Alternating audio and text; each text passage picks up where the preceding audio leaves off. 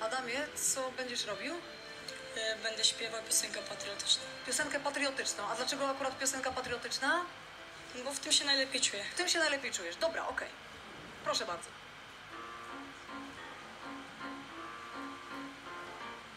Ułani, ułani, malowane dzieci.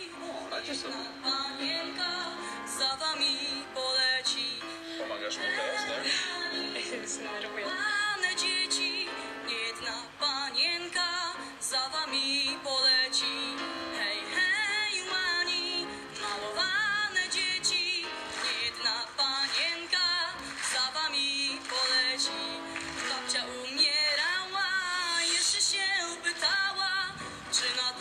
tamtym świecie ułani będziecie. Hej, hej, ułani.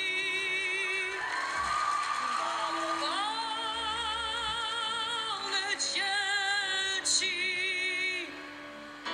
Jedna panienka za wami poleci. Hej, hej.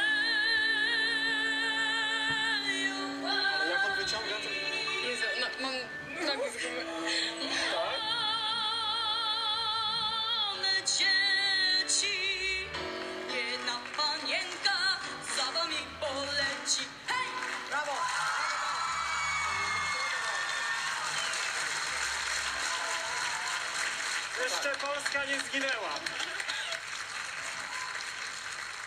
Adamie, masz zawodowy wokal, muszę ci powiedzieć. Naprawdę bardzo dobry Dziękuję. głos. Przede wszystkim masz coś takiego, czego nie można wyćwiczyć i się wyuczyć, czyli masz niesamowitą barwę głosu.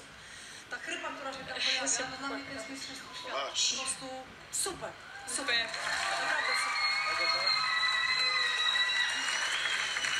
Adamie, jak zobaczyłam, jak wchodzisz, masz przydługie spodnie, mam wrażenie, jakbyś miał trochę za duże buty.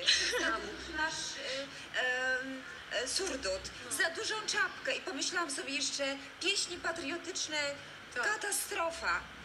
I nagle, i nagle, talent, proszę pana, absolutny talent.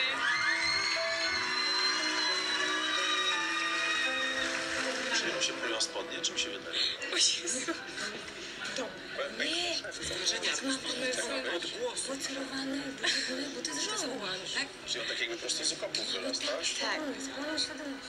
A buty ma babci tak z nawiasem. Babcia też ma żołnierzy? Wiesz co, jesteś fajną antytezą tej teorii, że tylko dzieciaki, wiesz, PlayStation, internet, nasza klasa. Okazuje się, że nie, że można się fajnie ukłonić historii. Ja się kłaniam tobie, masz talent. Jestem na tak. Dziękuję. Okej? Małgosia? Absolutnie jestem na tak. Agnieszka? Jestem na tak. Trzy razy tak. Dziękuję.